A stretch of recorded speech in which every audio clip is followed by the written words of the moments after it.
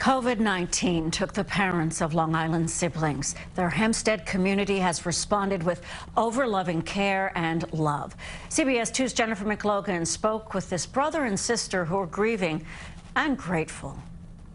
There are only two people who had the luxury of being the children. That was me and my sister. And it's like they were awesome parents. COVID 19 claimed the lives of a couple deeply in love, Ernesto and Sandra Lemus, leaving their grief stricken children parentless. The house just feels like really empty.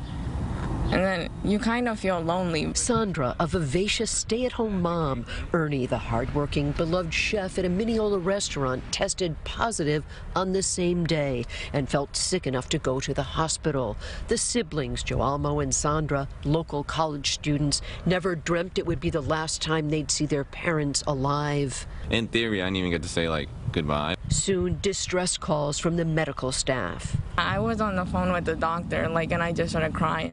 Sandra had slipped away. I'm over here crying my soul out over mom. They relied on their deep faith, overwhelming response from their church, and former high school community Kellenberg.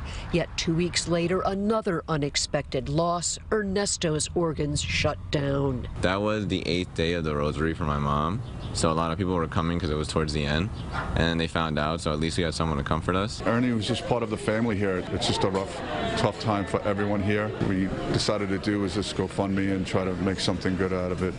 Fundraising for funeral expenses and the children's futures. At times it's like you're just angry because you're like they're not even here, and I'm 22. My sister's 18.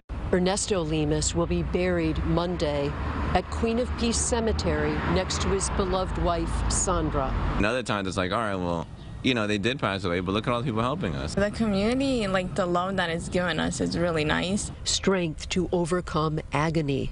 From Hempstead, Long Island, Jennifer McLogan, CBS 2 News.